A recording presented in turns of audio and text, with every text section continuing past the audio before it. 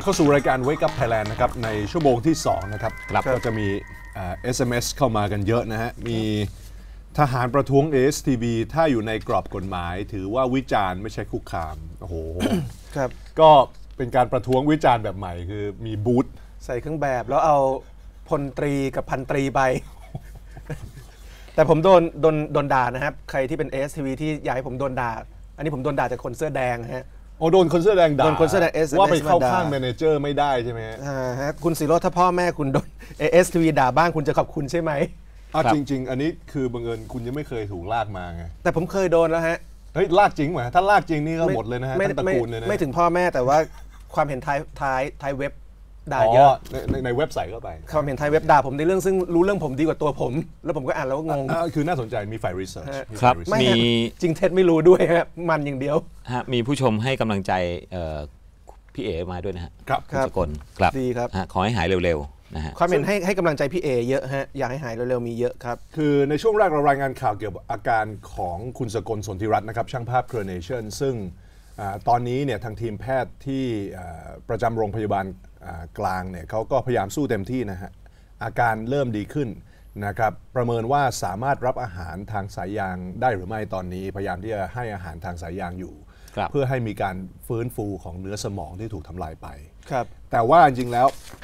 นายแพทย์ชัยพลวุฒิโอกาสเนี่ยเขาก็สังเกตอาการเลือดออกในสมองคนทั่วไปนั้นเนี่ยมันเอ่อมันมันสังเกตยากนิดนึงเพราะว่ามันไม่มีสัญญาณบอก เอ่อเหตุล่วงล่วงเอ่อเหตุล่วงหน้าใดครับคนส่วนใหญ่ก็จะหมดสติ แล้วก็อ่อนแรงลงไปทันที ทั้งนี้ต้องดูประวัติของผู้ป่วยเองว่ามีปัจจัยเสี่ยงหรือไม่ เช่นความดันโลหิตสูงสำหรับกรณีของช่างภาพในเช่นรายนี้ถือว่าโรงพยาบาลนั้น โรงพยาบาลไม่ช้าเกินครับอ่าอ่าเพราะขณะที่มาถึงโรงพยาบาลนั้นนายสกลยังสามารถสนทนากับแพทย์ และสามารถออกสามารถอารอกตาไปมาได้ แต่ที่เราพูดในรายการคือมันเป็นสิ่งที่เอ่อทาง เจ้าหน้าที่ของรัฐสภาเนี่ยต้องทำงานอย่างไม่มีข้อบกพร่อง เพราะนี่เป็ครันบเรื่อง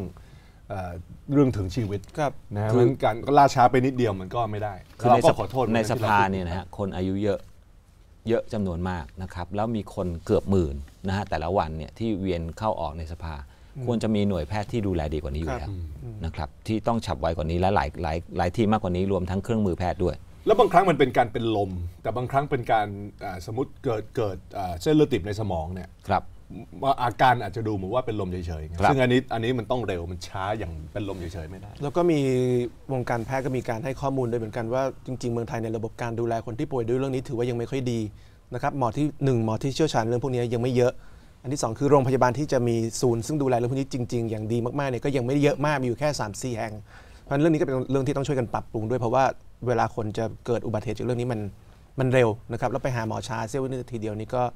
ก็แย่แล้วครับครับ มีเรื่องของโรงเรียนอัสสัมชัญนะฮะซึ่งก็เป็นโรงเรียนที่อยู่กันกับมาเมืองกับเมืองไทยมานานครับมากทีเดียวก็ตอนนี้มีข่าวคราวมาพักหนึ่งแล้วว่าจะมีการอ่าขายหรือมีการยุบครับ มันมันจะเป็นอย่างนั้นหรือเปล่า หรือไม่นี่ทางอาจารย์ หลายแล้วก็นักเรียนหลายคนก็เริ่มไม่พอใจแล้ว ใช่ฮะแล้วคือมันมีความคลุมเครือมาลานานใช่ไหมว่าจะมีการขายบางจุดของโรงเรียนหรือเปล่า จะมีการยุบของยุบโรงเรียนไหมและตอนนี้มันเป็นประเด็นใหม่ขึ้นมาก็คือว่าความความความไม่ชัดเจนว่าอนาคตของโรงเรียนจะเป็นยังไงเนี่ยทำให้กลุ่มครูเขาออกมาประท้วงนะครับเพราะว่าเงินเดือนครูก็ไม่ได้รับการปรับนะครับ แล้วก็สภาพการจ้างงานของครูจะเป็นยังไงก็ก็มีความไม่แน่นอนเกิดขึ้นนะครับ หนังสือพิมพ์ความชัดลึกก็รายงานการคำสัมภาษณ์ของศาสตราจารย์เกื้อวงบุญศิลป์นะครับรองอธิการบดีจุฬาลงกรณ์มหาวิทยาลัยซึ่งเป็น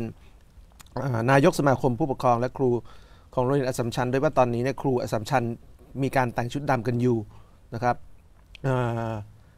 มีตอนนี้โรงเรียนอัสสัมชัญบางรักเนี่ยมีนักเรียนประมาณ 5,000 คนมีครู 500 คน ยังไม่มีครูสักคนเซ็นใบลาออกนะครับแต่มีความกังวลว่าครูจำนวนหนึ่งอาจจะคิดเรื่องการลาออก เรื่องอนาคตของโรงเรียนที่มีความคลุมเครืออมนะครับนี่ก็เป็นประเด็นที่ที่ที่น่าติดตามว่าจะเกิดอะไรขึ้นในวันที่ 17 มกราคมนี้เนี่ยนะครับจะมีการประชุมสมาคมครูและผู้ปกครองที่โรงเรียนอัสสัมชัญเวลา 18.30 น ซึ่งผู้อำนวยการโรงเรียนจะเป็นอุปนายกโดยตำแหน่ง จะมีการตั้งคำถามว่าครูที่กำลังเกิดความไม่สบายใจเรื่องการจ้างงานนะครับเกิดความไม่สบายใจเรื่องเงินเดือนของครูที่ไม่ได้ขึ้นเลยเนี่ยเขาจะ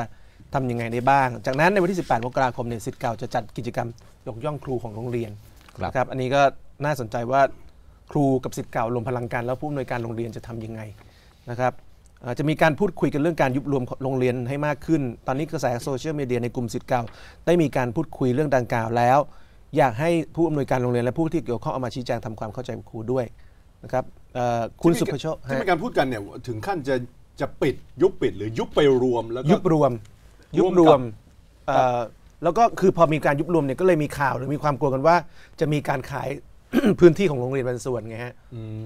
คือคือตอนนี้มันมีความคลุมเครืออยู่ว่าจะเอายังไงในอนาคตอ๋อครับคือคือพูดแบบไม่ต้องดูประวัติศาสตร์ ไม่ต้องดูอะไรเนี่ยนะพื้นที่บางรักตรงนั้นเนี่ยติดกับโรงแรมโอเรนเตนเป็นพื้นที่ทองอะฮะริมครับแม่น้ำเจ้าพระยา ซึ่งก็เป็นพื้นที่ทองอะครับ ถ้าเกิดเอามาขายแล้วไปทำอะไรเขาฝ่ายบริหารก็คงคิดอย่างนี้ฮะอ่าแต่โดยละเลยประวัติศาสตร์และความทรงจำซึ่งผูกพันกับผู้คนจำนวนมหาศาลนะใช่ฮะ คือร้อยกว่าปีนี่ไม่ใช่ธรรมดานะฮะมหาศาลนะครับเครือข่ายของอัสสัมชัญ แล้วเด็กอัสสัมนี่เขาเรียนกันเป็นรุ่นๆนะบางคนเรียนตั้งแต่รุ่นปู่รุ่นพ่อรุ่นลูก มันครับมันเป็นไปได้ไหมคือแน่นอนคำว่าโรงเรียนอัสสัมชัญเนี่ยชื่อเนี้ยยังไงมันไม่ไม่หายไปไหนละ ครับ แต่ว่ามันมันมีการพูดคุยกันที่กลัวกันก็คือว่าจะเอาที่เนี่ยไปทำอะไรที่มันคุ้มค่าเงินกว่าครับแล้วก็เอาโรงเรียนไปไว้ที่อื่นแทนครับ ครับ เพราะว่าเดินทางไม่สะดวกอะไรต่างๆนานาแหละเพราะว่าครับมันเป็นเมืองเก่าแล้วไงตรงนั้น อ่าฮะก็ใช่ ก็มันมีคนที่คิดอย่างนี้คิดแบบโมเดิร์นหน่อยแบบ โอเค เปลี่ยนที่ได้ครับใช่ที่มันก็น้อยไปต้องอะไรเงี้ยนึกถึงความรู้สึกของคนที่เขาผูกพันกับโรงเรียนเอ่อถ้าคุณสุประโชคซึ่งเป็นสิทธิ์สิทธิ์เก่าของอัสสัมชัญเนี่ยเขาพูดไว้ในคำสัมภาษณ์เนี่ยว่าเรื่องนี้สิทธิ์เก่าไม่มีสิทธิ์เสียงในโรงเรียนเลยเพราะทางโรงเรียนไม่เคยใส่ใจสมาคมสิทธิ์เก่า ไม่เคยรับฟังความเห็นของสิทธิ์เก่า ผู้อำนวยการโรงเรียนอยู่คนปัจจุบันอยู่มา 9 ปี นโยบายต่างๆ ไม่ว่าจะขยายโรงเรียนไปพระรามสองนะครับหรือการลงทุนโครงการต่างๆ ส่วนใหญ่เป็นโครงการใหญ่ทำได้ยาก โรงเรียนมุ่งเน้นการรับค่าบำรุงต่างๆ มากเกินไปอ้าว ประเด็นค่าบำรุงกลับมาอืมนะครับ ผมนั่งคิดอยู่ว่าจริงแล้ว ถ้าโรงเรียนอยู่ในที่ที่แบบเป็นทำเลที่ไม่เหมาะกับเป็นที่ที่ทำโรงเรียนแล้วเนี่ยครับ มันมีแนวคิดในการย้ายที่มันก็มีเหตุผลนะคือบางโรงเรียนเนี่ยสนามฟุตบอลก็ไม่มี คุณต้องมานั่งถมตึกสร้างตึก คือที่มันเล็กไงครับ ถ้าไปดูโรงเรียนอินเตอร์ใหม่ๆเนี่ยแถวนอกกทมเนี่ยแถวบางนาแถวอะไรอย่างเงี้ยครับพื้นมันที่มันกว้างมากไงครับ มันไม่ต้องมาแออัดในกลางกรุงไง แล้วมันจะไม่เหลือพื้นที่โรงเรียนในกลางเมืองเลยเหรอฮะ คือมันต้องมีแต่ว่าผมกำลังคิดว่าอย่างอย่างผมอยู่สาธิตประสานมิตรนะตอนนี้เนี่ยนะผมกลับไปดูเนี่ยผมอยากจะส่งลูกไปเรียนเนี่ยทุกอย่างดีแต่ไม่มีสนามฟุตบอลไงเพราะว่าคือที่มันแพงมากใช่ก็ถครัมบสร้างตึกคือผมก็คืนึอกถ้าอยู่โรงเรียนแถวบางนาต่างจังหวัดประชาเชิงเซาสนามยังใหญ่กว่าคือผมว่าเรื่องนี้ต้องตำหนิผู้บริหารโรงเรียนด้วยหรือเปล่า ก็คือว่าแต่เดิมโรงเรียนทุกโรงเรียนมันเคยมีที่ทั้งนั้นเนยนะครับมีอย่างผมเรียนเซนต์คาเบรียลเนี่ยโรงเรียนเซนต์คาเบรียลสมัยผมเรียนมีสนามบอลหนึ่งสนาม สนามบาสสองสนาม ฮะ ซึ่งเด็กประมาณ 2,000 คนนะสนามบาสสองสนามนี่ก็สนามหนึ่งเล่นกัน 20 ทีมพร้อมกันนะก็ยังแต่ก็ยังดีกว่าปัจจุบัน แต่ในบัดนี้เออ สนามบาสเหลือหนึ่งสนาม เออตอนนี้ต้องไปเตะบอลในสนามบาสคราวนี้ครับประเด็นก็คือว่าไอ้ที่เตะบอลในเยสนามบาสซึ่งสนามบาสอันหนึงมีลูกบอลอยู่ประมาณ 20 ลูกฮะบอลพลาสติกไงก็บอลพลาสติกไม่ติกรู้ว่า20ลูกคนเล่นในสนามเดียวกัน 100 คน คือแต่ว่าเมื่อก่อนอย่างน้อยเรายังพอแย่งกันได้นะตอนนี้แย่งไม่ไหวแล้ว ตอนนี้มันแย่งแต่ว่าผมกำลังคิดว่ามันแนวคิดในการหาที่กว้างๆเนี่ยผมไปโรงเรียนต่างจังหวัดมานะ โทษทีคือโรงเรียนโรงเรียนวัดต่างจังหวัดอะไรเงี้ยแม่งที่กว้างแบบจริงกว่าโรคงรับ เรียนที่ผมจะเผลอๆส่งลูกไปเรียนอีกอะ ใช่คือฮะคือผมไม่ไม่ไม่ไม่มีลูกแต่ผมยังคิดเลยว่าถ้าผมมีลูกผมอยากให้ลูกไปเรียนโรงเรียนที่มันที่กว้างๆอย่างนั้น คือคือผมคิดว่าเขาเด็กชีวิตมันมีความสุขนะครับ คือเขาขยายจำนวนผู้เรียนไงฮะขยายจำนวนผู้เรียนก็สร้างตึกเพิ่ม คือใช่แต่มันสร้างตึกเพิ่มจน คือมันโรงเรียนมันคือโรงเรียนมันโรงเรียนต้องการพื้นที่ให้เด็กได้ใช่ใช้ใช่ จินตนาการมันก็ต้องจำกัดผู้เรียนซึ่งโรงเรียนไม่อยากจำกัดนะครับรายได้มันเยอะ ครับ เพราะฉะนั้นก็ ก็นั่นก็เป็นเหตุก็ผลนะก็ฮะอย่างอย่างโรงเรียนผมเซนคาเบียนเนี่ยก็ทุบสนามบาสสร้างเป็นตึกสี่ชั้นครับซึ่งรับเด็กได้อีกเยอะอย่างเงี้ยครับ แต่ผมคือผมยังสงสัยว่าเอ๊ะตึกของอัสสัมชัญนี้ไม่ได้เข้าข่ายโบราณสถานเหรอฮะอืมเป็นที่เอกชนใช่ไหมฮะหรือว่ายังไงฮะไม่คือแน่ใจผมว่าเดี๋ยวลองหลายสอบถามตึกเนี่ยเป็นตึกเก่านะครับครับ ตึกในจตุรมิตรทั้งหมดเนี่ยเป็นตึกเก่า ซึ่งควรสมควรอนุรักษ์ไว้ทั้งสิ้น แต่ว่ากรณีเอ่อคุณถือว่าพูดจตุรมิตรนี่ บางบางเมื่อกี้เราพูดเรื่องสมาคมสิทธิ์เก่าอัสสัมชัญครับอย่างสวนกุหลาบนี่สมาคมสิทธิ์เก่าเขาแข่งนะฮะโอ้โหครับเขาระดมทุนรักษาตึกยาวของเขาจนโรงเรียนไม่ต้องทำอะไรเลย แล้วสมาคมสิทธิ์เก่ามีบทบาทมาก คือทั้งทั้งสี่โรงเรียนเนี่ยฮะสิทธิ์เก่าแข็งอืมแล้วจริง ๆ แล้วถ้ากรณีจะเกิดอะไรกับอัสสัมชัญเนี่ยจตุรมิตรน่าจะเข้าไปมีส่วนร่วมด้วย คือเข้าไปคือไม่งั้นคุณก็จะโดนคุกคามสักวันหนึ่งอะฮะครับครับ ตอนนี้หลายคนต้องเลือกระหว่าง facility กับอ่าชื่อเสียงโรงเรียนบางทีชื่อเสียงโรงเรียนดี แต่พอไปดูโรงเรียนเนี่ย facility สู้โรงเรียนใหม่ๆ ที่ชื่อยังไม่ดีอันนี้ไม่ก็ได้จริงครับแล้วบางโรงเรียนที่ดังๆเนี่ยนะครับกิจกรรมนักเรียนแย่มากฮะนะครับคือกิจกรรมนักเรียนมีแต่ชมรมฟิสิกส์ชมรมคณิตศาสตร์ซึ่งอันนี้ไม่ใช่กิจกรรมนักเรียนครับ อันนี้มันคือ ไม่แต่ถ้าคุณต้องการให้ชมรมลูกเพื่อการเรียนเสริมถ้าหลักคุณต้องสูการตรส่งลูกให้เขาโตเป็นนายกเนี่ยคุณก็ต้องส่งอย่างเงี้ย ไม่คุณก็ต้องเอาสวนกุหลาบเซนกาเบียนเงี้ยฮะจะผลิตนายกออกมา ใช่แต่เราครับต้องเราต้องการเด็กในสังคมไทยให้เติบโตอย่างมีความคิดสร้างสรรค์เด็กมันต้องมีพื้นที่สำหรับการเล่นกีฬากิจกรรมสันทนาการต่างๆ ที่เขาได้ใช้ความคิดไงฮะอ่าใช่ใช่คือโรงเรียนดังๆบางโรงเรียนเนี่ยผมพูดตรงๆชมรมดนตรี ยังไม่มีห้องซ้อมดนตรียังไม่มีเลยอะครับแหมมันก็พูดลำบากครับเพราะว่าในที่ผ่านมาเนี่ยประวัติศาสตร์หลายๆ โรงเรียนนะคือเรื่องสนามฟุตบอลเนี่ยมันไม่ได้เป็นตัวชี้วัดว่าเด็กประสบความสำเร็จไงฮะ คืออย่างอย่างเด็กเทพศิรินทร์เนี่ยนะครับไปก้าวหน้ากันมหาศาลเยอะแยะไปหมดเนี่ยนะก็พื้นที่เล็กมากแต่แต่ก็มีสนามฟุตบอล ครับ มีมีสนามฟุตบอลสำหรับ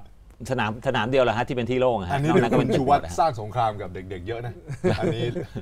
เดี๋ยวมีม็อบใหม่ เดี๋ยวโดนใหม่อีก เดี๋ยวกลับมาคุยกันต่อถ้ามีนิติราษฎร์เนี่ยเขายังเคลื่อนไหวกันอยู่นะฮะ เมื่อวานนี้ก็เสนออีกอีกแนวทางหนึ่งนะฮะในการแก้ไขปัญหาในในประเทศชาตินะครับ รายละเอียดเป็นอย่างไรช่วงหน้าฮะ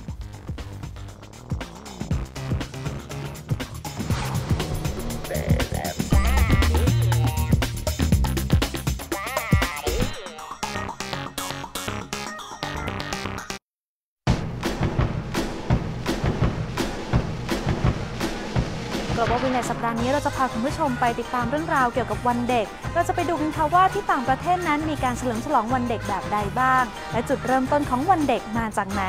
ติดตามชมได้ในรายการ Global Village วันจันทร์ที่ 14 มกราคมนี้เวลา 21นาฬิกา30 นาทีถึง 22นาฬิกาทาง True Vision ช่อง 67 และ 79 ทาง Voice TV และ www.voicetv.co.th ค่ะ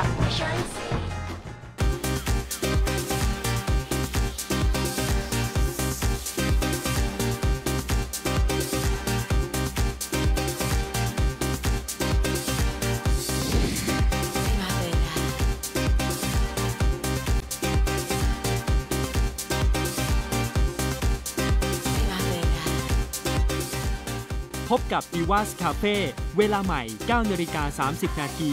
เริ่ม 1 มกราคมนี้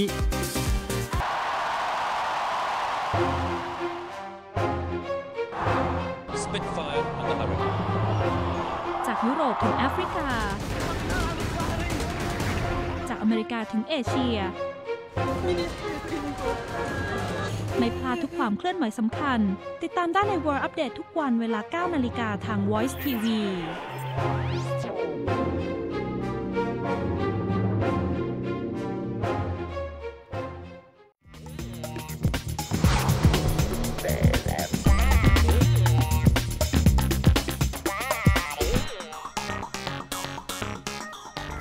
บมาสู่รายการเ Wake Up Thailand เรากำลังพูดคุยกันเรื่องว่าถ้ามีลูกจะส่งเรียนที่ไหนนะครับซึ่งครับอาจารย์ใหญ่ที่ประสานวิทย์นะฮะสวัสดีฮะก็เดี๋ยวผมจะพาลูกไปฝากนะฮะอีกรออีกสักห้าปี ครับโอ้โหคุณชูวัฒน์ทำผมเครียดมากนะฮะ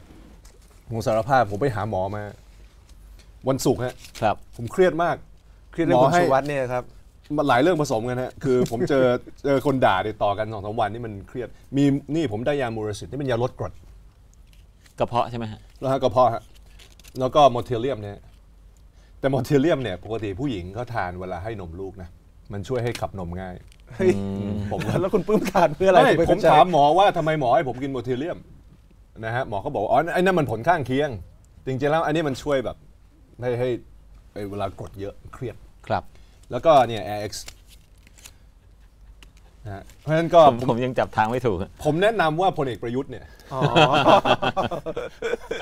หาซื้อ Miracid ไว้เยอะๆ แล้วก็อาจจะต้อง Motilium กับ Air-X ด้วย แต่ Miracid จะช่วย เพราะว่ากรดพลเอกประยุทธ์เนี่ยขึ้นแน่ทุกวัน ครับเพราะแล้วว่าคุณเมื่อ สนธิไม่ต้องทานเลยฮะคุณสนธิก็เคยชินชาของพวกนี้ครับ เพราะเขาด่าคนมาเยอะ แต่ว่า พลเอกประยุทธ์นี่ผมว่าจะเครียดอีกอย่างน้อย 3-4 เดือนจนถึงจนถึงตุลา ก็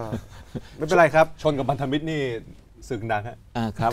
บรรยากาศปลองดองบ้านเรายังไม่เกิดนะแต่ฮะชนกับพันธมิตรน่ากลัวจริงๆครับแต่ขนาดทหารกับเสื้อเหลืองเนี่ย จะชนกันน่ะครับ คือเขาชนเพื่อจะปลดทหารชุดชุดนี้ป่ะฮะใช่ใช่แต่ว่า ASCV ก็เล่นประเด็นอยากให้ปลดพลเอกประยุทธ์มานานมากเหมือนกันใช่ไหมฮะแล้วคุณจะได้สายเหี่ยวกว่าพลเอกประยุทธ์มีอะฮะมันโอ้โหมันมันยากนะคือเหี่ยวแล้วเหี่ยวสุดๆแล้วใช่ไหมฮะเออ ระหว่างเหยี่ยวกับเหยี่ยวหนักกว่า อยากเลือกอะไร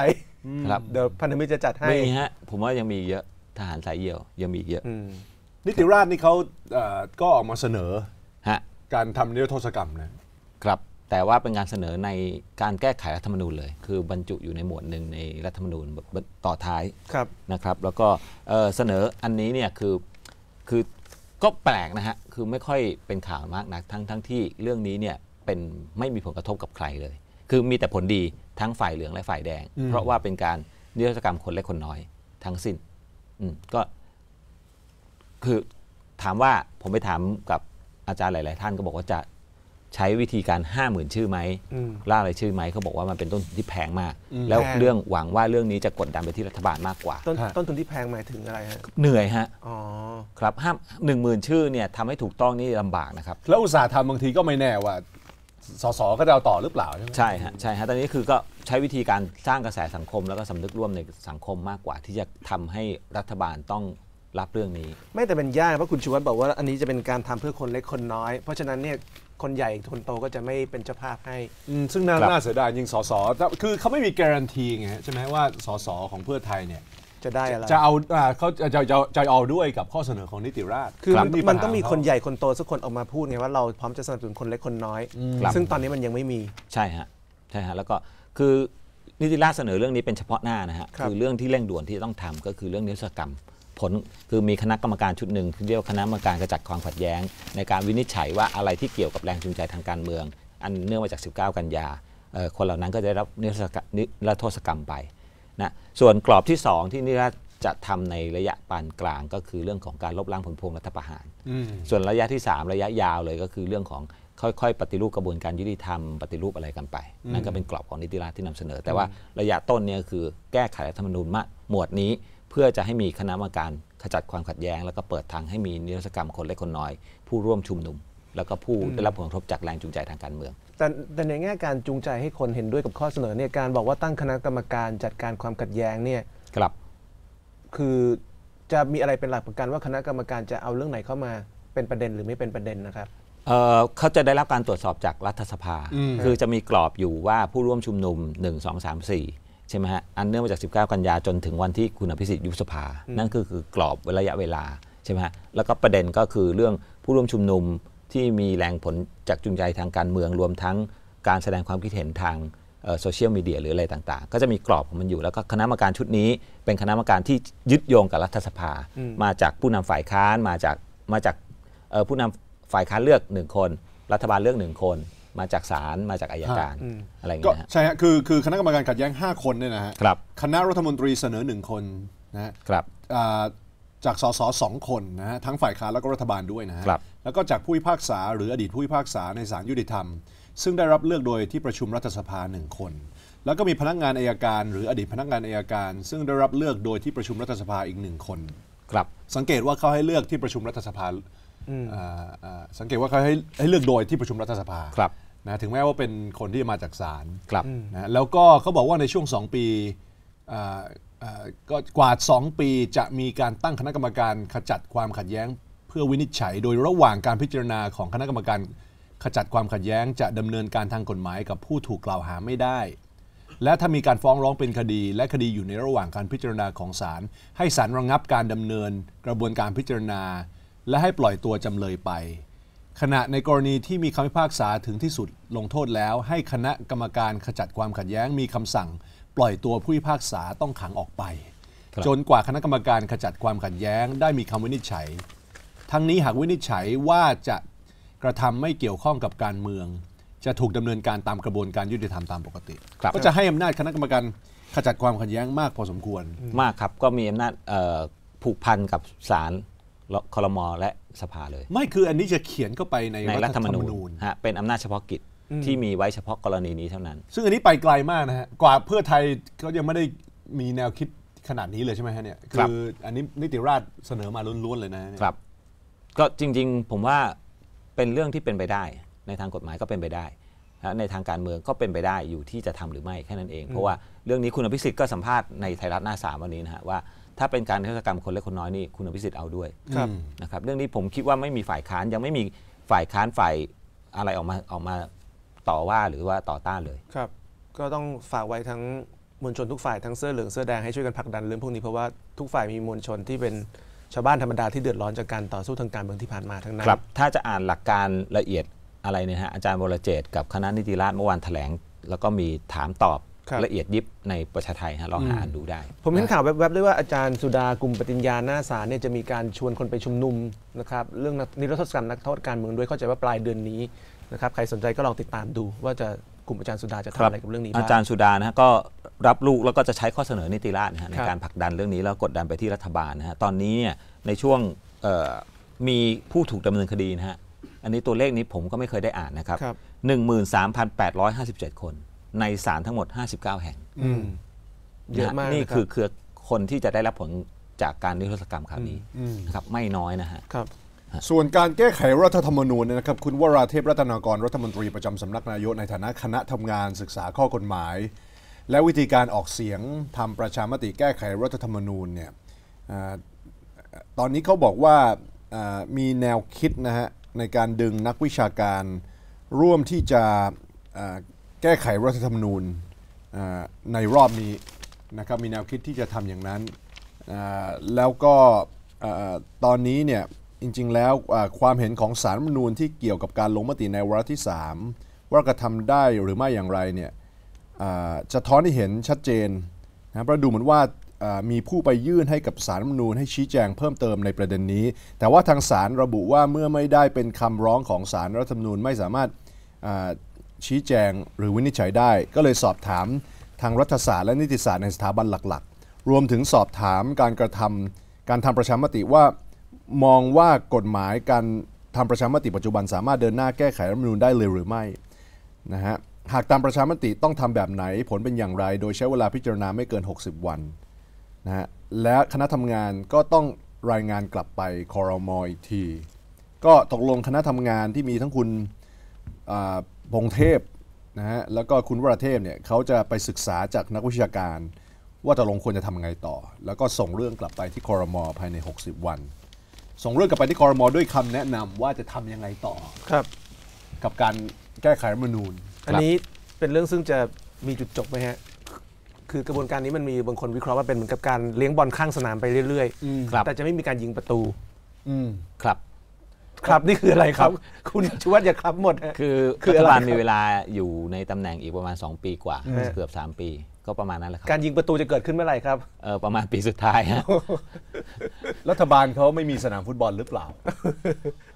นี่คุณปึ้มหน้าตาเซ็งมากนะครับพอได้ยินว่าสามปี ไม่หรือรัฐบาลจริงแล้ว เลี้ยงฟุตบอลอยู่ในสนามฟุตบอล ครับ แต่ว่ามันไม่มีประตูไงฮะคือต้องปิดห้องเล่นฮะ คือมันคือโกเลี้ยงลูกันหนูเองอะฮะครับ ไม่มีแล้วอย่างนี้คนดูก็เซ็งนะครับคนโกดูลูเซ็งหนูฮะเพราะว่าอาจารย์ใหญ่รอดูอยู่ ฮะแล้วคนดูทำไงฮะ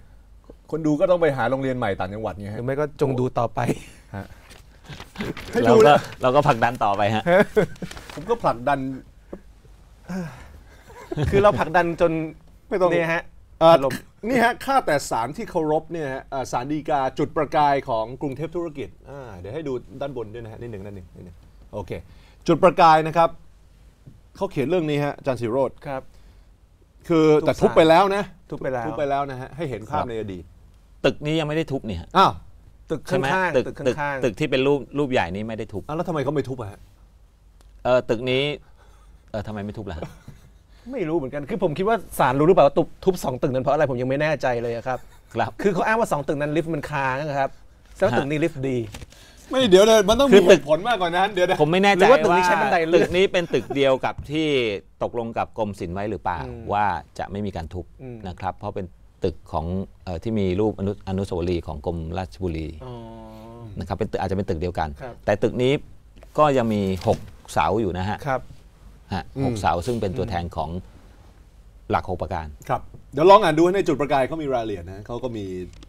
เป็นรายงานเรื่องนี้ครับนะครับที่ทุกคนพยายามที่จะรำลึกถึงตึกนี้อาคารสารดีกาคือมรดกคณะราษฎรในแบบนี้มีอีกเยอะนะฮะถ้าไปครับไปตามอาคารบางแห่งที่อยุธยาก็จะมีร่องรอยของคณะราษฎรอาจารย์อชิโร่จะบอกได้ไหมฮะเดี๋ยวเขาตามไปทุบเฮ้ยต้องบอกฮะคนจะได้ไปคอยดูลบบุรีก็มีนะครับครับเพราะฉะนั้นพวกอยากทุบก็ทุบไปเราต้องบอกต่อไป คนจะได้รู้ความสำคัญของมันครับ นะครับ เดี๋ยวกลับมา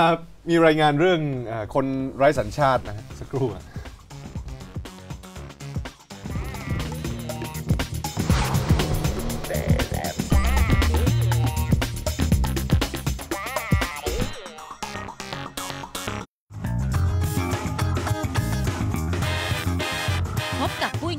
ถิ่นทิพย์และรายการมูฟี่พรีวิวกับการอัปเดตเรื่องราวข่าวสาร ในแวดวงภาพยนตร์ไทยและต่างประเทศ แนะนำหนังเข้าใหม่แต่ละสัปดาห์ และหนังแผ่นหน้าดู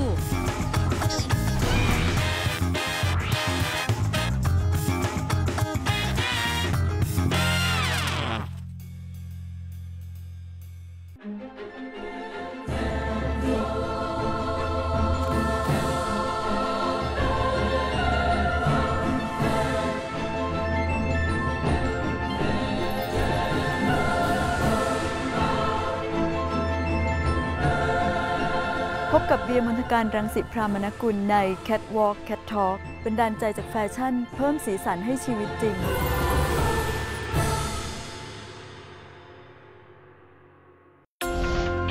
Voice Market ทันทุกข่าวสารในแวดวงการตลาดและเศรษฐกิจ เจาะลึกกลยุทธ์ธุรกิจด้วยสัมภาษณ์พิเศษในหลากหลายกิจการ ก่อติดการเปลี่ยนแปลงตัวเลขการลงทุนทั้งในและต่างประเทศ พบกับเรา 3 คนได้ใน Voice Market ทุกวันจันทร์ถึงศุกร์ 17นาฬิกา30 นาทีทาง Voice TV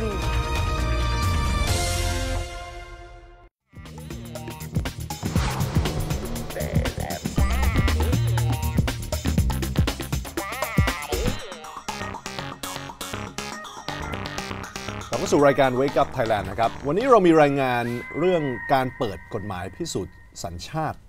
นะครับ กฎหมายพิสูจน์สัญชาตินะฮะอ่าซึ่งทาง Voice News ได้นำเสนอนะครับ แล้วก็มีอ่าหลายตอนเลยนะครับ เดี๋ยวรายละเอียดเป็นอย่างไรเชิญชมครับ เรื่องการเปิดกฎหมายพิสูจน์สัญชาติครับ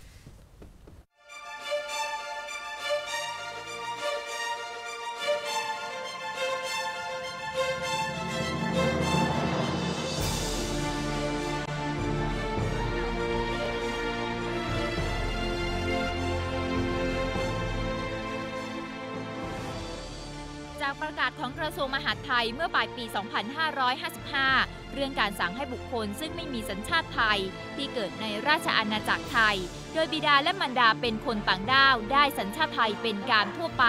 และการให้สัญชาติไทยเป็นการเฉพาะราย สร้างความหวังและความสับสนให้กับแรงงานต่างด้าวชาวพม่าเป็นอย่างมาก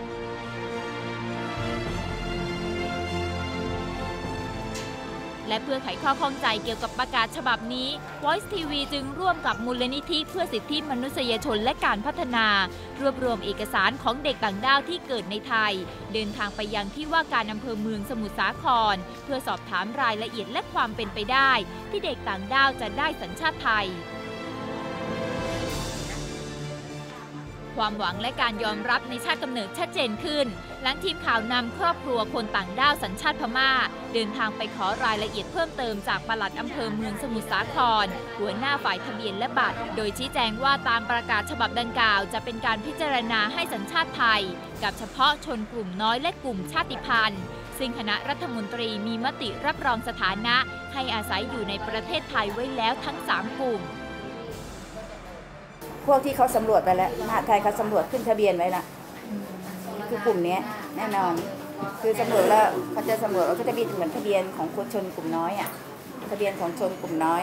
ทะเบียนของพวกคนไทยพัฒถิ่นทะเบียนเขาสำรวจไปแล้วเป็นครอบครัวใช่ไหมก็จะมีรูปถ่ายเป็นครอบครัวเป็นอะไรใช่ไหมแล้วก็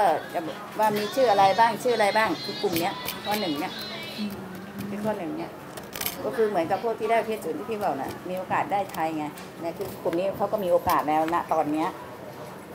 คือกลุ่มนี้คือคือสำรวจโดยมหาดไทยแล้วเออสำรวจใช่สำรวจขึ้นทะเบียนกับมหาดไทยแล้วแล้วคือกลุ่มเนี้ย คำชี้แจงที่ระบุว่าคนต่างด้าวสัญชาติพม่าซึ่งเข้ามาอาศัยทำงานในประเทศไทย ไม่สามารถขอขึ้นทะเบียนสัญชาติไทยได้ ไม่ใช่สิ่งที่เหนือความคาดหมายสำหรับพวกเธอ นางมัคคิมิอายุ 43 ปีแรงงานชาวพม่าซึ่งมีลูกวัย7ขวบ เปิดเผยกับทีมข่าว Voice TV ว่า สิ่งที่เธอกังวลมากไปกว่านั้น คืออนาคตด้านการศึกษาของลูก chắc rồi để sao nhỉ vợ sao cái mẫu tàu lên tôi ra để tàu ra vợ nhà mui để tàu đi lên tôi ra để tàu mà vợ ấy vợ mui đi cả mà đây xin này nó vợ lo cả cái cha đơn quan cả lên đây bỏ son này đi mà ngay đây phải xin nạc lá เป็นห่วงเด็กๆที่อยู่ในประเทศไทย แล้วกำลังเรียนหนังสือไทยใช่ไหมคะ จริงๆ ถ้าเกิดเด็กๆ ได้สัญชาติไทยที่อยู่โรงเรียนไทยเนาะถ้าเกิดได้สัญชาติไทยเนี่ยเด็กมันคนเนี่ยเขาก็อยากเป็นหมอเป็นพยาบาลหรือว่าเป็นครูอะค่ะถ้าเกิดไม่ได้สัญชาติไทยเนี่ยเด็กจะเรียนแค่ป .6 แล้วจบแล้วจะมาใช้จะมาเป็นแรงงานต่อไปเนาะ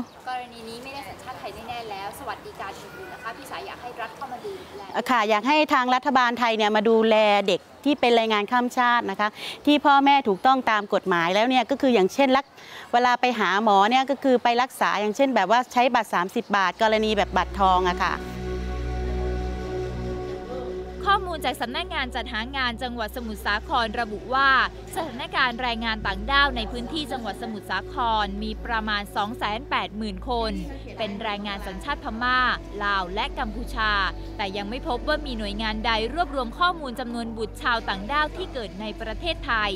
ซึ่งการลงพื้นที่ของทีมข่าว Voice TV ในครั้งนี้ จึงพบว่าอนาคตด้านการศึกษาของบุตรชาวต่างด้าว เป็นสิ่งที่แรงงานชาวต่างด้าวกังวลมากที่สุด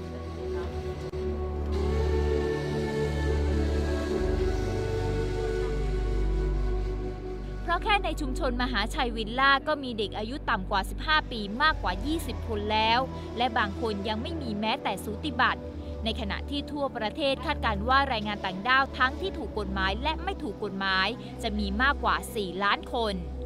สุบงกตสุขแก้ว Voice TV รายงาน ก็ในบางประเทศเนี่ยอ่าคุณไม่สามารถได้สัญชาติด้วยด้วยการที่เกิดในประเทศนั้นครับ แต่ว่าอ่าบางประเทศก็ให้อย่างอเมริกาก็ให้ครับถ้าไปแคนาดาเนี่ยคุณเกิดในประเทศนั้นอย่างเดียวเนี่ยไม่ได้มันไม่ต้องได้โดยสายเลือดด้วยครับนะฮะแต่ว่าของเราเนี่ยมันเริ่มมีการปรับเรื่องนี้แล้วฮะ ก็มีการเอ่อผพูดมากขึ้นเรื่อยๆว่าฮะควรจะให้สัญชาติ ถ้าเด็กเกิดในเมืองไทยก็ต้องให้สัญชาติไทยกับเขาครับ แต่เรื่องนี้ก็ถือว่าก้าวหน้าขึ้นเรื่อยๆนะครับในเรื่องของการเอ่อดูแลปัญหานี้ครับนะครับเพราะว่าโอเค อาจจะมองแบบใจไม้ใช่ละกรรมก็คือว่าเพราะเราต้องการแรงงาน แต่ว่าอืมในแง่หนึ่งก็คือว่าดูแลเขาได้ได้มากขึ้นครับ นะครับคือหลายปีมาแล้วฮะก็คือเด็กที่เกิดในไทยหรืออะไรก็ตาม หรือเด็กทุกคนในไม่ว่าจะเป็นสัญชาติไหนก็คือได้เข้าเรียนอืมนะครับทีนี้คือว่าแต่เรื่องสวัสดิการรักษาพยาบาลเนี่ยยังครอบคลุมไปไม่ถึงอืมอันถ้านี้เกิดในต้องประเทศไทยพัฒนาโตอปในเมืองไทยก็เป็นคนไทยนะครับควรจะเป็นอย่างนั้น คือรับลูกหลานคนจีนเป็นอย่างนี้ฮะครับแล้วก็คนจีนทุกวันนี้ไม่มีใครรู้สึกว่าไม่ใช่คนไทยอะคนครับจีนที่เป็นรุ่น 2 รุ่น3เนี่ยอืมฮะ สังคมไทยก็ต้องเป็นแบบนั้นครับคือนะความเป็นชาติที่ดีหรือชาติที่น่าอยู่เนี่ยคือชาติที่เปิดกว้างให้คนเข้ามาอยู่แล้วยังอยู่อยังมีความสุขนะคครัรับบผมคิดว่าเราก็ต้องช่วยทำจริงเรื่องแบบนี้ก็ต้องชมว่ามี NGO หลายกลุ่มทำเรื่องนี้นะครับภาคครับรัฐหรือภาคราชการอืมไม่ค่อยสนใจนะครับครับก็ขอบคุณคุณสุบงกตด้วยที่ครัทำบรายงานนี้ครับนะฮะทำมาต่อไปฮะคุณสุบงกตสุขแก้วนะครับครับของครับ Voice ขอบคุณ News NGO ที่ทำเรื่องพวกนี้ด้วยนะครับครับมีเรื่องวันเด็กนะฮะฮะไหนๆพูดถึงเด็กแล้วอะนะฮะเมื่อวันเสาร์ที่ผ่านมาเป็นวันเด็กนะคครัรับบเดี๋ยวเราไม่มีนะฮะก็คือเอ่อผมชอบอันนี้ฮะ เพราะว่านิสิตจุฬานะครับอายุ 18 ปี เขาก็ถือว่าเขาเป็นเด็กนะฮะ ก็ไปยื่นหนังสือไปรัฐไปทำเนียบนะครับเขาสิบกัแปดแล้ว กลุ่มเด็กและเยาวชนแรงงานนอกระบบนะฮะ อืม ไปยื่นหนังสือขอให้รัฐบาลเร่งรัดเรื่องของการสร้างระบบกองทุนการออมแห่งชาติ อ๋อ คือเตรียมตัวเองที่จะแก่อืมคือเป็นเด็กที่ไปยื่นหนังสืออมเตรียมตัวเองที่จะแก่นะฮะคือกองทุนการออมเนี่ย อันนี้พูดแล้วเมื่อกี้ผมโดนเสื้อแดงด่าไปแล้วว่าผมพูดปกป้องคุณประยุทธ์ครับนะครับกองทุนการออมเนี่ยเป็นเป็นเรื่องหนึ่งซึ่งทำในสมัยคุณกรณ์พรรคประชาธิปัตย์ครับแล้วจะต้องมีผลบังคับใช้แล้วครับคือถ้าถ้ามีผลบังคับใช้เมื่อไหร่เนี่ยก็คือรัฐบาลต้องจ่ายเงินเข้าบัญชีพวกเราทุกคนครับเพื่อสนับสนุนให้คนไทยมีการออมมากขึ้นโอ้ฮะเป็นกฎหมายที่ดีมากดีนะครับนะครับแต่ว่าไม่มีความยังไม่คืบหน้ามีมีผลประกาศบังคับใช้อ้าวอ่าก็คือรัฐบาลยังกักอยู่อ้าวเพราะว่าจะไปรอแก้ไขกฎหมายบางตัว ใช่แต่ว่าแต่ว่าฝ่ายที่วิจารณ์เนี่ยเขาบอกว่าช้าเพราะคุณกิตติรัตน์ ครับบอกว่าคุณกิตติรัตน์ไม่สนใจเรื่องนี้ เพราะว่าหาเงินไม่ทันหรืออะไรก็แล้ว แต่ซึ่งจริงๆมันต้องมีผลบังคับใช้นั่แล้นวก็ควรจะทำให้ทันเพราะว่ารัฐบาลที่แล้วเขาอุตส่าห์ทำไว้เรียบร้อยแล้ว ครับ ครับ เพราะว่ามันมีปัญหาที่ต้องเผชิญก็คือว่าในปี6 68นะฮะคืออีก 10 กว่าปีเนยนะฮะจะมีคนแก่ประมาณเกือบ 20%ครับคือพูดง่ายๆว่า 1 ใน 5 จะเป็นผู้ชรา อืม ซึ่ง 1 ใน 5 คือไม่สามารถเอ่อมีรายได้อีกแล้ว คือไม่สามารถหาเลี้ยงชีพได้อีกแล้ว อืม เพราะฉะนั้น แปลว่าคนหนุ่มคนสาวจะต้องจ่ายภาษีไปเลี้ยงคนแก่ ซึ่งถามว่าในสังคมไทยโอเค เรื่องนี้ไม่ได้เป็นปัญหา แต่ว่าถ้าเกิดคือครอบครัวเดี่ยวมันมีมากขึ้น คนไม่เลี้ยงพ่อแม่มีมากขึ้น หรือไม่มีปัญญาเลี้ยงพ่อแม่มีมากขึ้น เพราะฉะนั้นการออมตรงนี้เนี่ยมันจะเป็นหลักประกันให้กับกับกับพวกเราเนี่ยแหละฮะครับคือคืออย่างนี้คือกองทุนการออมเนี่ยมันมีเป็นกฎหมายซึ่งมันมีวิธีคิด 2 อันรองรับอยู่อันแรกคือต้องการให้คนมีความมั่นคงทางการเงินมากขึ้นในในวันที่สูงอายุ ซึ่งซึ่งทุกคนต้องเป็น อันที่สองคือเป็นกฎหมายซึ่งวางอยู่บนการมาว่าคนที่เขาสูงอายุในอนาคตเนี่ยนะครับในอดีตเขาคือคนที่สร้างสังคมให้เจริญก้าวหน้าขึ้นมาครับเพราะฉะนั้นเมื่อเขาสูงวัยแล้วเนี่ยก็เป็นหน้าที่ของคนรุ่นหลังนะครับซึ่งซึ่งได้ประโยชน์จากการเกิดเติบโตในสังคมซึ่งคนรุ่นก่อนเขาทำไว้เนี่ยจะต้องมีหน้าที่รับผิดชอบคนรุ่นก่อนด้วยเหมือนกันนะครับมันก็คือเป็นกฎหมายซึ่งจะทำให้เกิดการเอื้ออาทรหรือเกิดการ นึกถึงซึ่งกันและกันระหว่างคนรุ่นหลังกับคนรุ่นที่ผ่านมาครับครับทีนี้แต่เนี่ยรัฐไทยเนี่ยมักจะโยนภาระให้เป็นเรื่องของครอบครัวไงฮะใช่ว่าไปเลี้ยงดูกันเอง แต่อันนี้ซึ่งกฎหมายนี้จริงๆจะเปลี่ยนใช่นะครับฮะกฎหมายนี้พูดง่ายๆคือถ้ามีเมื่อไหร่เนี่ยเราต้องเอาเงินเงินเราเงินเอาเราต้องเอาเงินเราไปฝากจำนวนหนึ่งแล้วรัฐจะจ่ายสมทบส่วนให้อีกจำนวนคล้ายๆกองทุนประกันสังคมที่เราจ่ายประกันสังคมตัวเองแล้วรัฐจ่ายให้อีกส่วนหนึ่งครับแล้วก็รัฐอย่ากลัวฮะเพราะเรื่องนี้เนี่ยจะไปลดภาระของรัฐในระยะยาวอืมนี่นี่เด็กกู้สามองถึงอนาคต ฮะอนาคตก็เลยน่าสนใจมากว่าใช่เป็นวันเด็กที่แต่ก้าวเรื่องหน้ามาก แต่เรื่องกองทุนการออมเนี่ยเป็นเรื่องที่ผมแปลกใจ เพราะว่าเรื่องสำคัญ แต่ว่าเป็นเรื่องซึ่งฝ่ายต่อต้านรัฐบาลไม่เอามาพูดเลยครับเรื่องนี้ควรจะพูดเยอะๆฮะอันนี้ก็ต้องดันให้รัฐบาลทำให้สำเร็จดันให้ทำให้สำเร็จให้ได้ครับไปกันที่ข่าวต่างประเทศนะฮะเรื่องราวของเอรอนสวอต Aaron ครับคือคนนี้เป็นเป็นใครฮะเนี่ยเขาเป็นนักพัฒนาโปรแกรมชื่อดัง เป็นคนพัฒนาระบบ RSS นะครับอ๋อเป็นคน RSS ที่เราใช้กันอยู่เวลาติดตามคือเป็นข้มูล feed ข่าวสาร ใช่นะครับ Aaron Swartz นี่เป็นคนพัฒนาขึ้นมาแล้วเขาเพิ่งฆ่าตัวตาย อืม คือคือโอเคไม่รู้ว่าฆ่าตัวตายหรือเปล่าแต่ข่าวบอกว่าเขาฆ่าตัวตายเนี่ยอพาร์ตเมนต์ของเขาแห่งหนึ่งที่นิวยอร์กนะครับเขาเพิ่งอายุ 26 ปีเองนะฮะแล้วก็เขาทำสิ่งที่สำคัญหลายเรื่องคือเขาเขาถูกจดจำในวงการอินเทอร์เน็ตสองสามเรื่อง เรื่องแรกคือเป็นนักพัฒนาโปรแกรมเรื่อง RSS อย่างที่เราพูดไป อันที่สองก็คือเป็นเหมือนกับ นักเคลื่อนไหวเรื่องสิทธิเสรีภาพในอินเทอร์เน็ตด้วยฮะนะครับแล้วก็เป็นคนที่พยายามจะทำให้ระบบการใช้อินเทอร์เน็ตหรือโปรแกรมต่างๆเนี่ยมันมันเปิดกว้างสำหรับคนทุกคนอ่านนะครับ Swartz เนี่ยเขาดังมากจากกรณีหนึ่งคือเขาไปทำคล้ายๆ กับดูดข้อมูลจากเว็บไซต์แห่งหนึ่งชื่อ JSTOR JSTOR เนี่ยเป็นเว็บไซต์เป็นเป็นระบบฐานข้อมูล ซึ่งคนที่เรียนมหาวิทยาลัยต่างประเทศทุกคนจะต้องใช้ในการดาวน์โหลดบทความทางวิชาการต่างๆ นี่ก็เป็นเหมือน genius ใช่ คนหนึ่งนะ เพราะเขาเขาโตเร็วแล้วก็ก็ออกโปรแกรมดังๆพวกนี้เขาคือฮีโร่ของยุคนี้ไงฮะ คือ JSTOR เนี่ยเป็น Database เป็นฐานข้อมูลซึ่งเวลาเราไปเรียนต่างประเทศ หรือเราอยู่ในเมืองไทยเนี่ยถ้าเราอยากจะอ่านบทความทางวิชาการเนี่ยเราอ่านฟรีไม่ได้นะครับฮะเราต้องจ่ายเงินทางให้กับตรง JSTOR เป็นสมาชิกหรือผ่านมหาวิทยาลัยซึ่งก็เอาเงินเราไปจ่ายอีกทางหนึ่งให้อ่า JSTOR แล้ว JSTOR เนี่ยเก็บค่าสมาชิกแพงมากครับโดยที่ตัวอาจารย์หรือตัวคนเขียนเนี่ยไม่ได้อะไรครับเออสวัสนี่มองว่าสิ่งนี้ที่เจที่เจสโตทำเนี่ยไม่ถูกก็คือ เขาเข้าไปดูดข้อมูลจาก JSTOR มา แล้วถูก JSTOR ฟ้องฮะแต่เขาบอกว่าที่เขาทำเนี่ยก็คือ1 JSTOR เก็บข้อเก็บข้อมูลในการเข้าถึงบริการทางวิชาการแพงมากอืมทั้งทั้งที่ JSTOR ไม่ต้องจ่ายอะไรให้คนเขียนเลยอืมและมันทำให้โอกาสในการเข้าถึงความรู้ของคนทั้งโลกเนี่ยมันหายคือไปเขาเป็นเขาเป็น geniusทางด้านซอฟต์แวร์อะไรพวกใช่นี้ใช่ไหมโอเคแล้วเขาพยายามทำให้ความรู้เป็นคือคนปฏิวัติความรู้อะฮะให้ความรู้เป็นเรื่องที่เราเข้าถึงได้แต่ฟรีแต่นี่ช็อกวงการมากเลยเหตุครับการณ์ที่เกิดขึ้นเพราะอายุเพียงแค่ 26 ปี ใช่แล้วก่อนหน้านั้นเนี่ยเขาทำอีกเรื่องหนึ่งซึ่งดังมากๆเหมือนกันคือเขาเข้าไปดูดข้อมูลจากแฟ้มต่างๆของ FBI มานะฮะเขาแล้วเขาก็สามารถแฮ็กได้ด้วย ใช่เขาเขาเข้าไปเจาะข้อมูลของ F- FBI มานะฮะแล้วเขาถูกจับจากกรณีนี้นี้ในปี 2011 คือปีที่แล้วนะครับ FBI จับเขาแล้วก็ในในในข้อมูลที่ที่ตอนหลังสวอสเขาโพสต์ในบล็อกของเขาเองเนี่ยเขาบอกว่าเขาเอาเขาเอาข้อมูล FBI ที่ที่พูดถึงเขามาโพสต์อีกทีหนึ่งเนี่ยฮะบอกว่าเขาดูดข้อมูลไปได้ประมาณ 18 ล้านหน้านะครับซึ่งมีมูลค่าประมาณ 1.5 ล้านเหรียญจาก จากเว็บไซต์จากฐานข้อมูลที่ชื่อว่า PACER อืมซึ่งซึ่งซึ่งพูดจริงๆ รัฐบาลอเมริกาก็ทำไม่ค่อยถูก ก็คือว่าฐานข้อมูลเกี่ยวกับคนอเมริกันทั้งหมดเนี่ยถ้าจะเข้าไปดูในจาก PACER เนี่ยต้องจ่ายเงินในการเข้าไปดูสวัสบอกว่านี่ก็ไม่ไม่แฟร์แล้วคือเป็นเรื่องของของคนอเมริกัน ฐานข้อมูลเป็นเป็นเป็น Pacer เนี่ยก็คือควรจะคนอเมริกันควรจะได้ดูฟรี แล้วเขาก็เลยเข้าไปเจาะครับผลจากการเจาะคือทำให้เขาถูกจับไปครับนะครับแต่ทั้งหมดนี้เกี่ยวข้องกับการฆ่าตัวตายเขาไหมฮะก็มีบางบางคนสันนิษฐานว่าเกี่ยว นะครับก็คือคือบางคนสันนิษฐานว่าเขาคือคือคือสวัสเนี่ยเขาเปิดเผยอยู่แล้วเขาเป็นโรคเอ่อ depress อ่าหดหูอืมนะครับแล้วก็บางคนก็สันนิษฐานว่านี่เป็นเป็นเหตุผลที่ที่ทำให้พอเขาเจอคดีสองคดีข่าวนี้เนี่ยเพิ่งเบรกออกมาในช่วงวันอาทิตย์ที่ผ่านมาเลยเมื่อคืนนะฮะอ๋อโอเคงั้นเดี๋ยวคงมีความคืบหน้ามากขึ้นในแล้วในวันสองวันนี้คือเอ่อคือคือญาติพี่น้องเขาเนี่ยนะหรือว่าคนที่เกี่ยวข้องกับเขาเนี่ยพูดถึงเขาไว้น่าสนใจเหมือนกันนะครับบอกว่าสวอสเนี่ยเป็น เป็นคนซึ่งมีความรักอย่างอย่างไม่นึกถึงตัวเองเลยอืมนะครับไม่เคยคิดว่าตัวเองจะได้อะไรจากการทำเรื่องต่างๆ เป็นคนซึ่งปฏิเสธที่จะยอมรับความอายุติธรรมทุกรูปแบบ เป็นคนซึ่งมีพรสวรรค์ที่จะทำให้โลกเนี่ยเอ่อสว่างไสวัยและอยู่ในอนาคตที่ดีขึ้นนะครับ นี่เป็นคนซึ่งเสียชีวิตไปแล้วแล้วถ้าเขาอยู่เนี่ยเขาจะทำสิ่งที่ดีให้กับโลกนี้ได้อีกเยอะครับ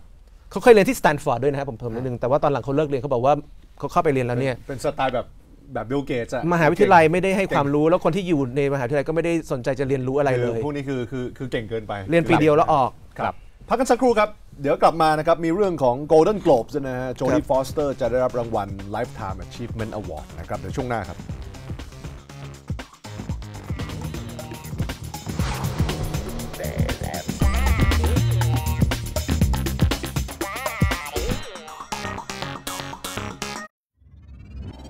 มาเติมแรงบันดาลใจในการถ่ายภาพ กับการค้นหาประสบการณ์ใหม่ที่อยู่ไม่ไกล ให้งานถ่ายภาพเป็นงานสร้างสรรค์ในมุมมองใหม่ไม่เหมือนใคร การถ่ายภาพสะท้อนศิลปะสังคม วัฒนธรรมของคนรุ่นใหม่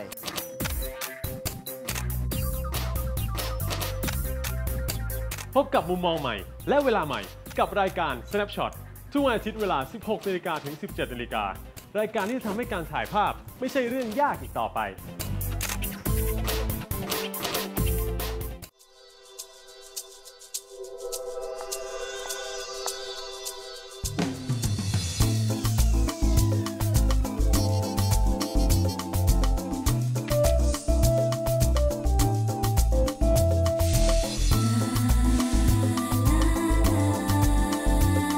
ลกแห่งการอ่าน แล้วจินตนาการจะขับเคลื่อนชีวิตคุณ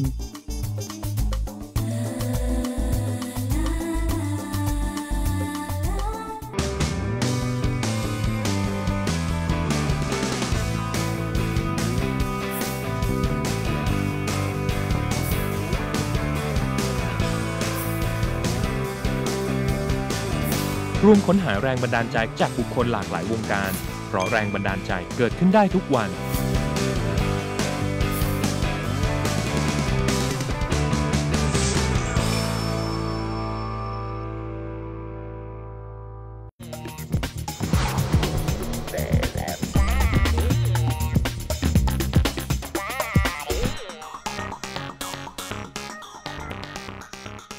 นายกรัฐมนตรีชินโซอาเบะซึ่งกำลังจะมาเยือนไทยในในสัปดาห์นี้นะฮะวันพฤหัสบดีสบดีที่ถึงนี้เนี่ย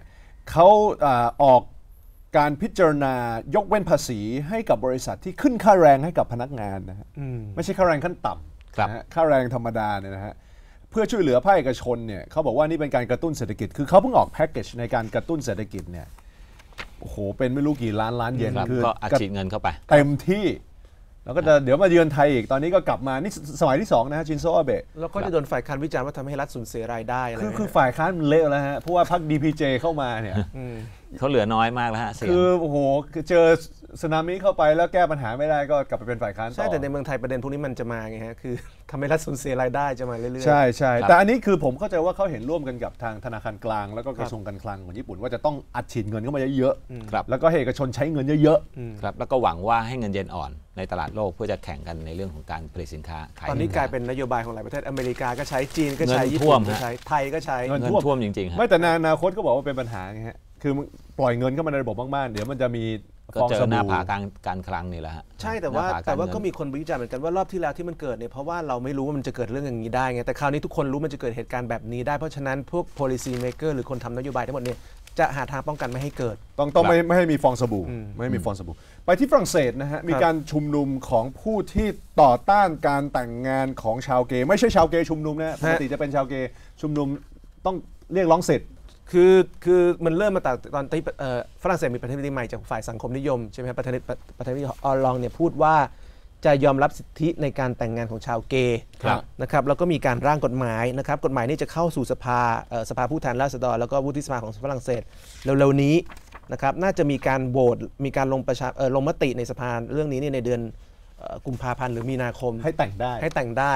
นะครับก็ผลักดันเร็วเหมือนกันนะฮะเร็วฮะเร็วฮะแต่ทีนี้เนี่ยกลุ่มที่ต่อต้านเรื่องสิทธิในการแต่งงานของชาวเกย์ก็เลยออกมาประท้วงที่ปารีสก็มีผู้ชุมนุมค่อนข้างเยอะระดับหลักแสนนะครับ แล้วก็บอกว่าคัดค้านการแต่งงานของคนเพศเดียวกัน รวมทั้งคัดค้านการ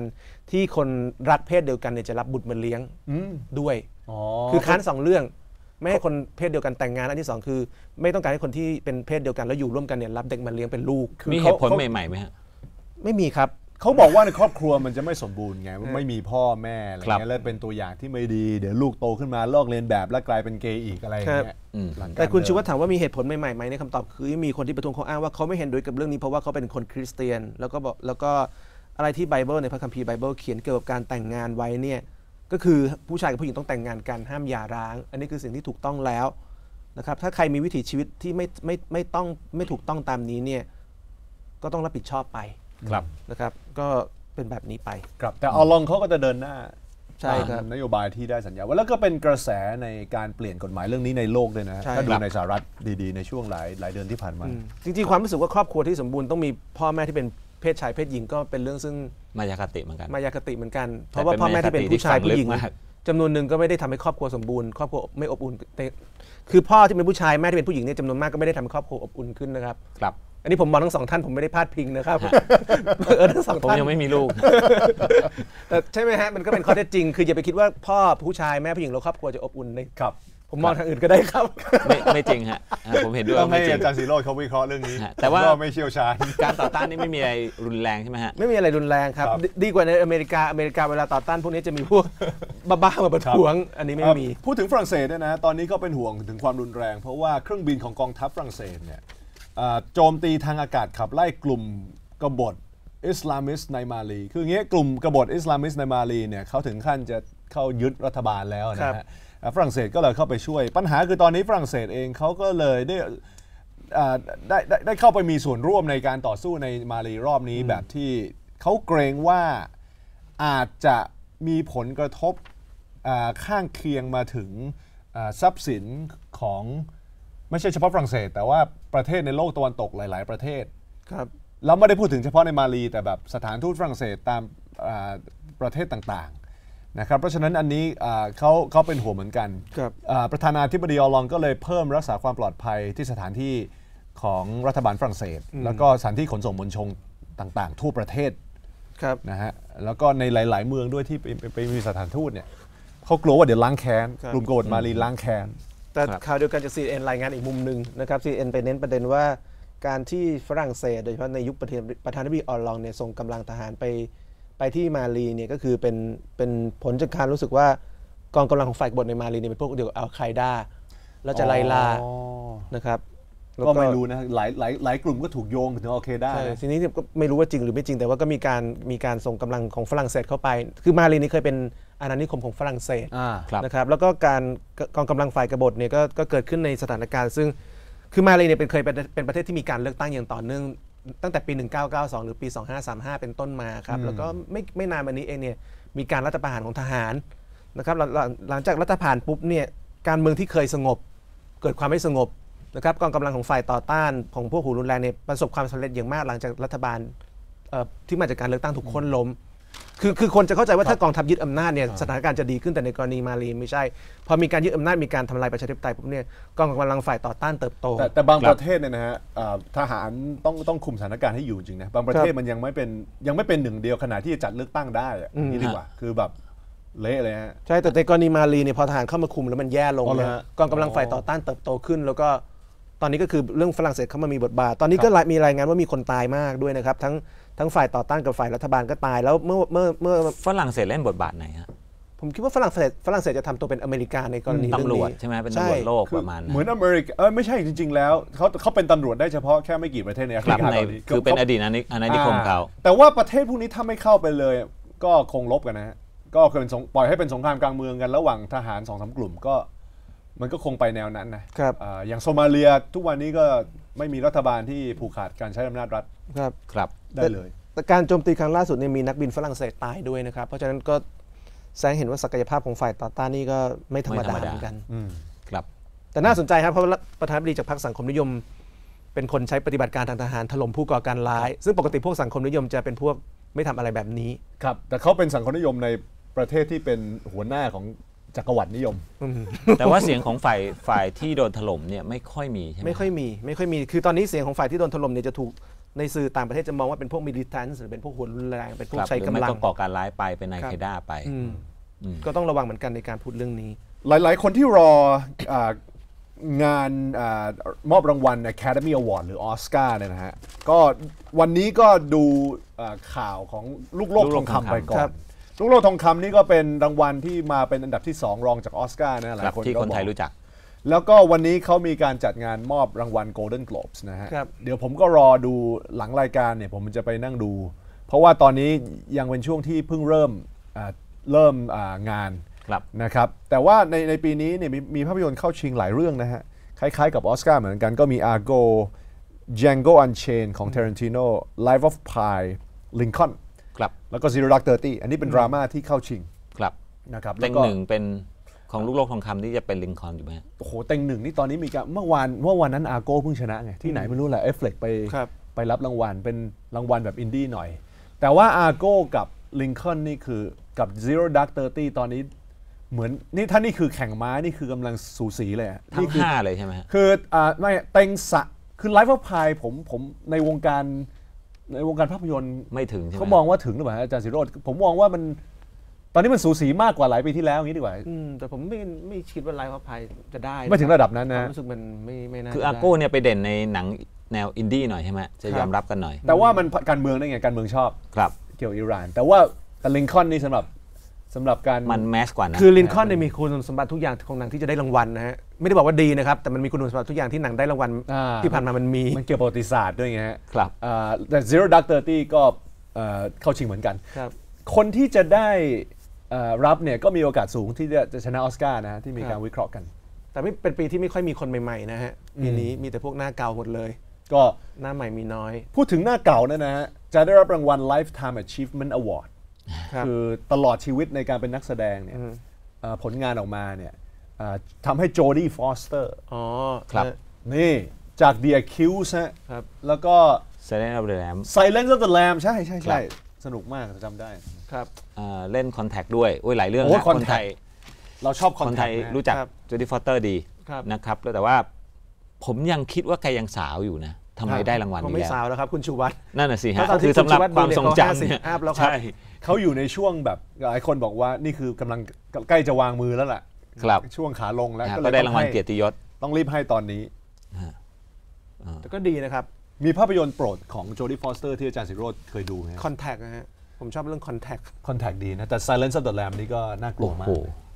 ใช่หนังลุ่มลึกอยู่ฮะแต่ผมชอบ Contact ผมก็ชอบ Contact คอนแทคมันทำให้เรามีจินตนาการ Accused ก็เป็นหนังที่ดีฮะครับเอ่อก็เป็นเรื่องข่มขืนใช่ไหมฮะอืมอืมเรื่องนั้นก็เป็นเรื่องที่ตั้งคำถามได้ดีครับ พูดถึงในเบลฟาสต์นะครับมีข่าวเกี่ยวกับสหราชอาณาจักรนะครับเอ่อไอร์แลนด์เหนือเนี่ยเป็นส่วนหนึ่งเป็นประเทศหนึ่งในในสหราชอาณาจักรซึ่งเป็นประเทศอีกทีหนึ่งครับซึ่งอังกฤษยึดเข้ามาอีกทีนึงฮะครับแล้วก็คราวนี้ในในประเทศเอ่อสหราชอาณาจักรเนี่ยนะฮะสำหรับคนไอร์แลนด์เหนือบางส่วนเนี่ยเขาต้องการแยกออกมาครับ แล้วก็เขาก็จะมีการผลักดันให้ทำประชามติอะไรอยู่ตลอด คราวนี้ ซึ่งอันนี้เป็นกลุ่มที่เคยเป็นเรื่อง IRA ใช่ไหมอ่าฮะแต่เขาก็สงบไปแล้วนะฮะครับแต่มันก็ยังมีการเคลื่อนไหวอยู่อ่าช่วงหลังตอนนี้เขาเสนอให้ลดการอ่าชักธงสหราชอาณาจักรชาติโหนี่มันสัญลักษณ์นะฮะใช่ครับลดจำนวนวันที่ชักธงชาติ ซึ่งของเรานี่เราชักทุกวันครับ ซึ่งก็ดีนะผมไม่ได้ว่าเลยฮะเดี๋ยวเป็นปัญหาดีฮะชักธงชาติทุกวันควรทำ แต่ว่าที่นู่นเนี่ยเขาบอกว่าไม่เอาแล้ว กลับเขาจะให้ลดก็ถึงขนาดไม่ถึงขนาดไม่เอานะฮะเขาเคยมีต่อรองกันว่าให้เหลือหนึ่งวันครับนะฮะสุดท้ายรู้สึกว่าจะลงไปที่ 18 วัน อืมคือแล้วมันมีกระแสแอนตี้ควีนในในสะในเอ่อไอร์แลนด์เหนือด้วย ครับ มีแต่ว่าเขาก็โอเคสยบกันไป ครับ ฮะเขาก็กลัวว่าเรื่องนี้จะบานปลายไปสู่การเอ่อแบ่งแยกดินแดนเหมือนเดิมอีก เหมือนตอนที่มี IRA อืม อืม ก็เขาก็เลยระวังกันอยู่เรื่องนี้ครับแต่เรื่อง IRA จบไปแล้วคือคือประเด็นของฝ่ายที่อยากให้ชักธงเอออยากให้ลดการชกธง ชักธงชาตินี่คือเขามองว่าความการอยู่ร่วมกันอย่างปรองดองอย่างสันติระหว่างไอร์แลนด์เหนือกับอังกฤษจะเกิดได้คือต้องผ่านกระบวนการทางการเมืองครับนะครับแล้วการการลดการชักธงชาติบ่อยๆอย่างนี้มันเป็นกระบวนการทางการแบบเมืองแบบหนึ่งที่ทำให้รู้สึกว่าไอร์แลนด์เหนือก็ได้รับการเคารพจากคนอังกฤษจากรัฐบาลอังกฤษด้วยเหมือนกันอ่าฮะนะฮะซึ่งก็มีมีแนวโน้มที่ดีนะฮะในราชอาณาจักรอังกฤษที่จะมีเรื่องประชามติในสกอตแลนด์อะไรอย่างเงี้ยนะของการปกครองตนเองมากขึ้นครับ นั่นก็คือ Wake Up Thailand นะครับ ในเช้าวันนี้นะครับ ติดตามกันได้ใหม่ในวันพรุ่งนี้ วันนี้ลาไปก่อนครับ สวัสดีครับ